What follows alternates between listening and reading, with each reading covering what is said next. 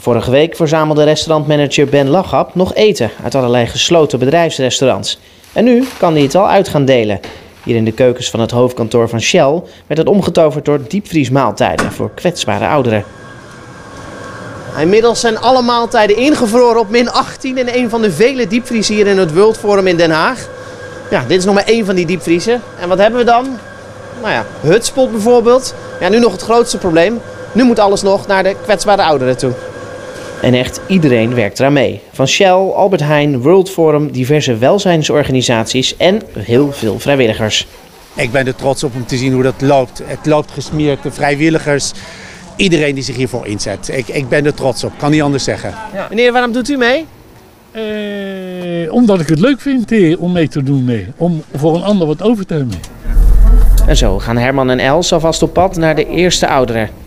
Ben Lagap wil benadrukken dat dit eten echt alleen is voor de meest kwetsbare ouderen in onze samenleving.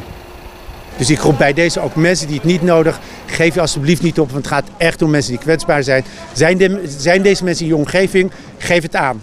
Meld het, geef het aan, want dit is echt bedoeld voor mensen die kwetsbaar zijn. Als je het zelf kunt doen, doe het. En als de crisis eh, erger wordt, willen we absoluut voor meer mensen gaan zorgen. Ja. Eet smakelijk? Ja, dankjewel. En wanneer komen ze het ophalen? Wanneer moet ik betalen? Je hoeft niet te betalen. Het is van- van de maaltijden van Resto van Harte van Ben Lachap. Oh, die hier op de dingen zitten. Ja, er zijn niet heel veel schrijnende gevallen. Kijk, en wij brengen nu wel maaltijden rond. En ik weet zeker dat er nog mensen zijn die het ook nodig hebben. Maar die er niet voor uit durven te komen, omdat er een gevoel van schaamte is. Wat vindt u ervan dat ze deze actie houden voor eh, heel veel kwetsbare ouderen? Ja, ik vind dat wel eh, leuk. Dan word, dan word ik toch niet vergeten.